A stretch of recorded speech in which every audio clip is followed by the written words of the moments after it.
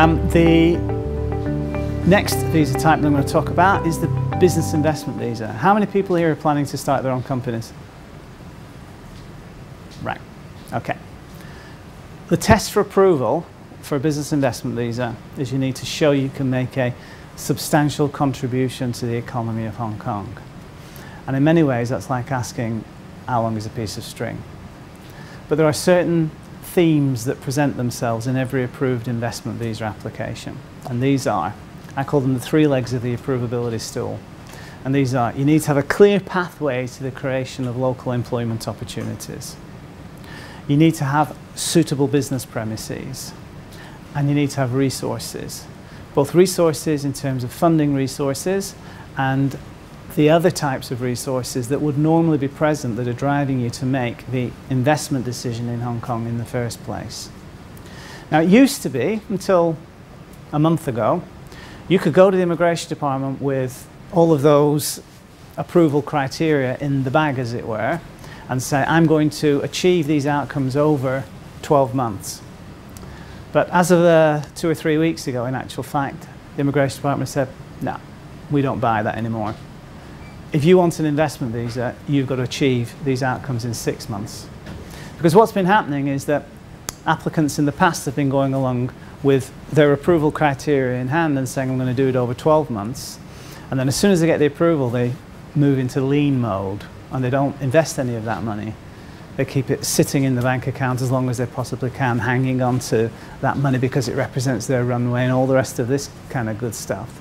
And then when it, times, when it comes time for the extension at the end of 12 months in the immigration department review the performance of these businesses, they can see that actually this act of investment which underpins the issue of the visa in the first place isn't happening. They've got good reasons for it at the extension time, and as long as you've got a really good reason for why it hasn't happened, they won't deny you your extension. They'll put your feet to the fire, of course, but they will extend you for another year and they'll subject you to business review at the end of that year. so, um, we've just discovered through uh, our practice that the Immigration Department are not buying into that any longer.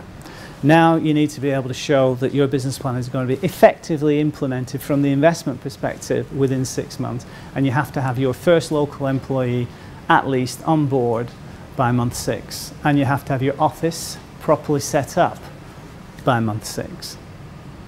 Um, and the difficulty is that you know you come out of a program like this, for example, and you've got an idea for what you want to accomplish, and, and perhaps you can't realistically expect to achieve those objectives in six months, particularly if you're going to be doing the coding yourself. You need to get to an MVP, and by the time you get to the MVP, you're 9, 12 months into it. Even if you've got all the other approval criteria in play, the Immigration Department are not going to approve you. So it's gotten a lot tougher out there, I'm afraid to say. A lot tougher. Yep. So um, I'll talk about that perhaps in a little bit more detail when you have questions because if you talk about your plans, I can uh, give you the assessment as to how that might impact on your circumstances. But yeah, whilst the Immigration Department are showing flexibility in terms of the employment visa for um, young, talented, old, talented um, tech technologists, uh, when it comes to the business investment visa, unfortunately, we haven't seen any adjustments to policy that would accommodate the startup situation. Now, that doesn't mean it's always going to be like this. There could be changes. The Immigration Department never announce what they're doing until they've made the decision and they implement it. Uh, it just appears on the website one day, and that's it. That's, that's the most that anybody ever gets to know. They, unfortunately, they don't call me up in advance and say, hey, you know, we're going to change our policy so next month you can start telling your clients that, uh, that things are going to get easier. But that's the problem with the business investment visa. Um, just from 39,000 feet, the kind of resources that are needed, half a million Hong Kong dollars available to you. Uh, normally that ticks that box. Your CV, your prior experience is a decent resource. If you've got if somebody's commissioned you to produce a piece of work and from that project there's going to be ongoing um, uh, opportunities for you to service that project, all of that is a good resource. So as I said earlier, all the kinds of things that you would have present in your um, plan that are driving you to make the investment decision in the first place, these are all deemed the kind of resources Immigration Department expect to see to produce a sustainable business or a business that will go on to become a solidly entrenched commercial enterprise.